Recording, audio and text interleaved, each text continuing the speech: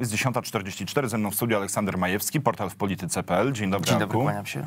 Na portalu przede wszystkim polecamy Państwu yy, to, no właściwie czym żyjemy od już tygodni, miesiąc mija, yy, od kiedy rozgorzał konflikt izraelsko-polski. Wczoraj dowiedzieliśmy się nieco więcej o kulisach rozmowy premiera Morawieckiego z premierem Netanyahu po wizycie szefa polskiego rządu w Monachium. Piszemy o tym na portalu yy, w polityce.pl i okazuje się, że stanowisko premiera Netanyahu w tej sprawie y, no, pokazuje, jak trudna droga jest przed nami, bo trzeba skruszyć jakiś kompletnie absurdalny mur kłamstwa, którego jedną z ważniejszych cegieł jest właśnie premier Izraela.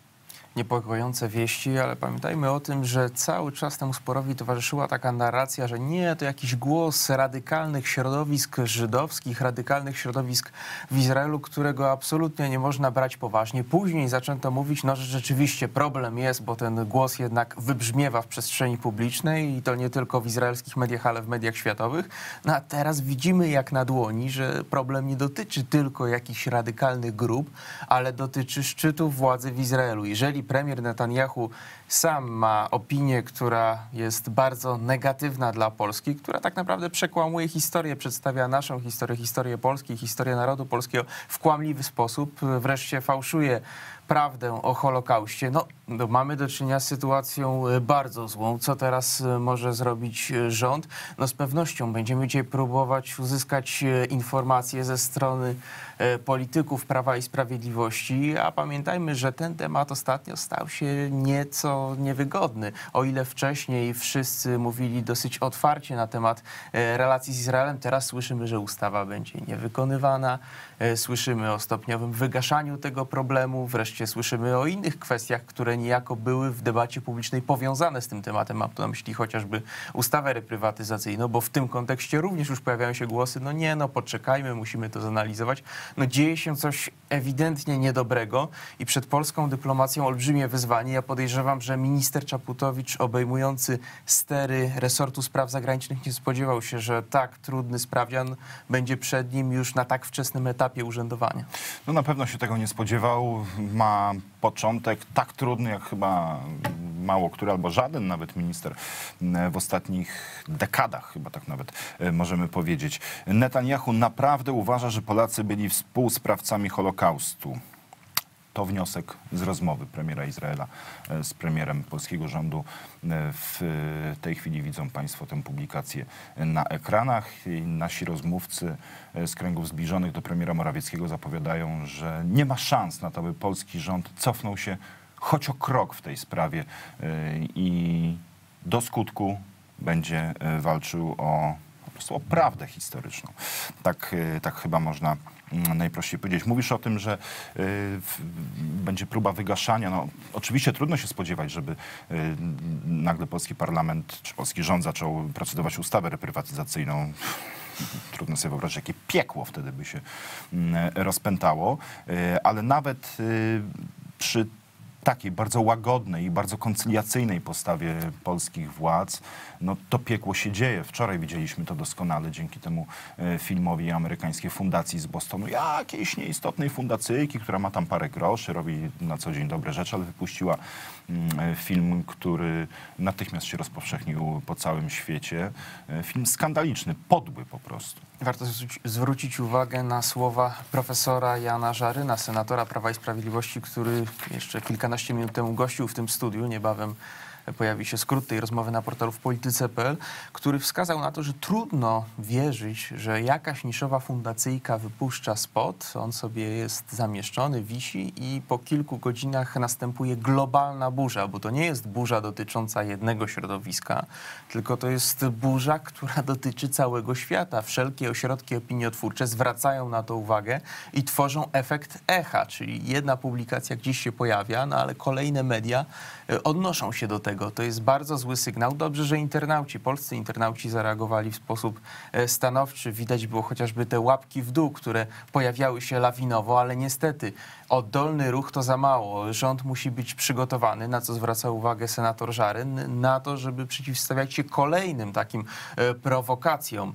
E, obawiam się, że mm, koncyliacyjne rozwiązania, rozwiązania zmierzające w kierunku edukacji, no, mogą opłacić się w dalszej fazie, ale obawiam się, że może być już na to za późno w sytuacji tak olbrzymiego sporu. A odnoszę się w tym kontekście do wypowiedzi Elżbiety Kruk, którą można przeczytać na portalu w polityce.pl, e, która mówi, że powinniśmy dbać o eksponowanie swojej historii, że powinno powstać Muzeum e, Polaków ratujących Żydów, że takie inicjatywy powinny być nagłaśniane. Wystarczy wspomnieć piękną kartę, jaką zapisała rodzina Ulmów. E, pytanie tylko, czy teraz, na tym etapie są to środki wystarczające, bo że one się opłacą w dalszej perspektywie, my to wiemy, ale co w tej sytuacji, gdzie jest Polska Fundacja Narodowa? O to już chyba pytają wszyscy. No pytają wszyscy, a Polska Fundacja Narodowa próbuje działać. Wczoraj wypuściła kontrfilm. Jak tylko go wypuściła, natychmiast spotkał się on z falą krytyki znowu. E, warto zwrócić uwagę na to, co piszą ludzie na Twitterze. Ten lud, który tak naprawdę często kreuje opinię, jest takim papierkiem lakmusowym, który pozwala sprawdzić, co w duszy narodu gra. I niestety okazuje się, na co zwracają uwagę internauci, że niejednokrotnie zwykły użytkownik internetu, portali społecznościowych potrafi zrobić więcej niż niestety organizacja, która otrzymała tak duże środki na swoją działalność.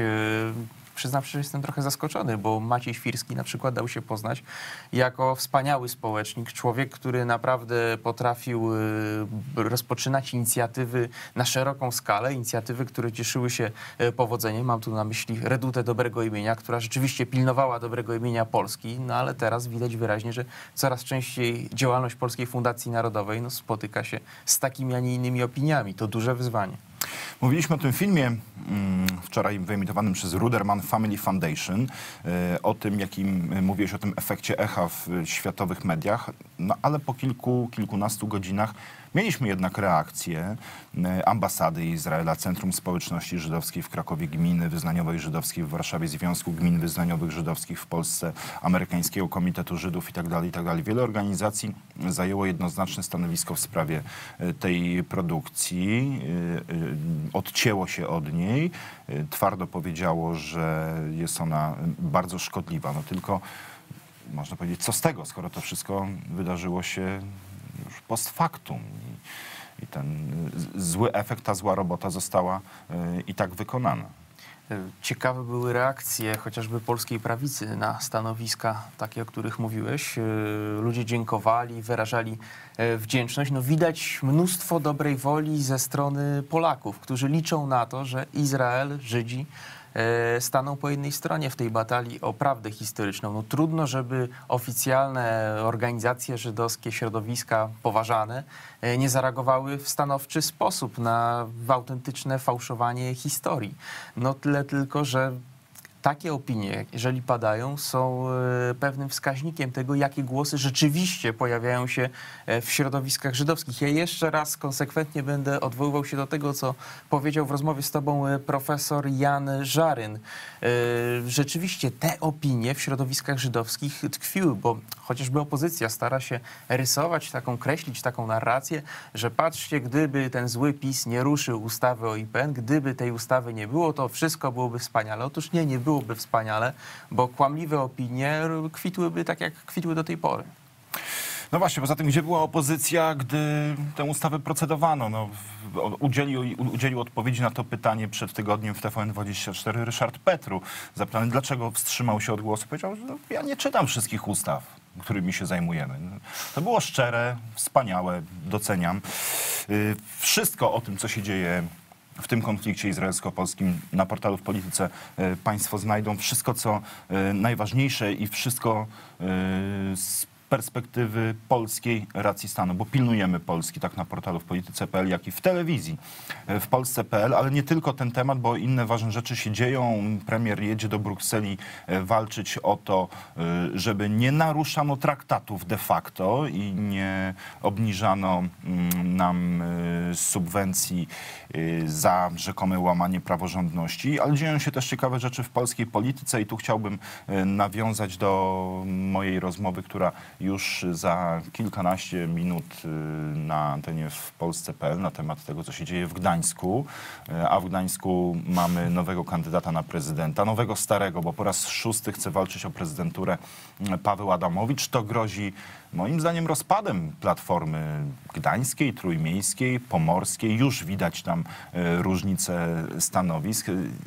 Ja, portal w Police.pl dużo pisze na ten temat, bo to jedna z ciekawszych rzeczy w tej chwili na krajowym podwórku.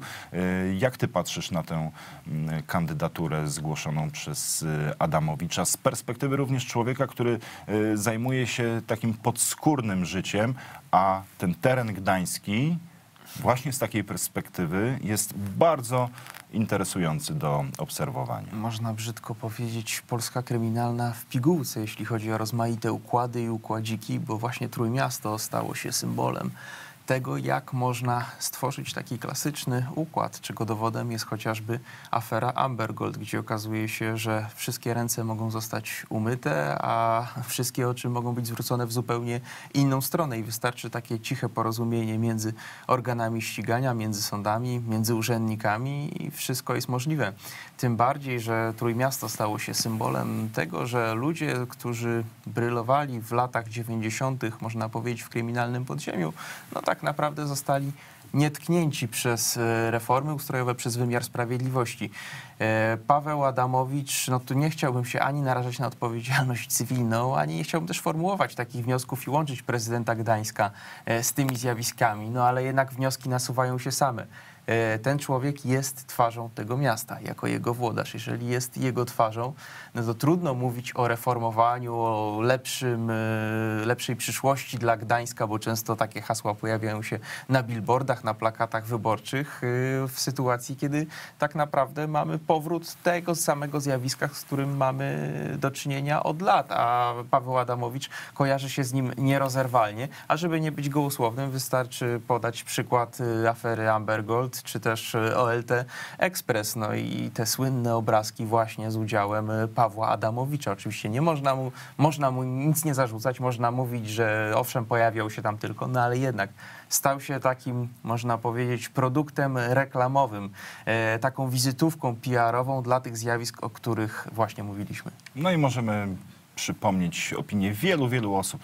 To zdanie można usłyszeć w Gdańsku naprawdę na każdym kroku, że tym miastem rządzą deweloperzy. Adamowicz doskonale sobie zdaje z tego sprawę. On robił dużo interesów z deweloperami. Sam kupował wiele mieszkań, o niektórych później zapominał o świadczeniach majątkowych. Podobnie jak o setkach tysięcy no, ale złotych, jeśli ma się tyle kont, jego dzieci. Wszystko 36 rachunków bankowych. Aleksander Majewski, dziękuję, dziękuję bardzo. bardzo. Portal w polityce.pl polecamy Państwu teraz i zawsze, a za moment, za trzy minuty, serwis informacyjny, po nim przegląd prasy międzynarodowej, a tuż mm, po Państwa spotkaniu z Olą Rybińską wrócę ja i porozmawiamy o Gdańsku, o Pawle Adamowiczu, z człowiekiem, który bardzo dobrze zna tamten układ. Zostańcie Państwo z nami.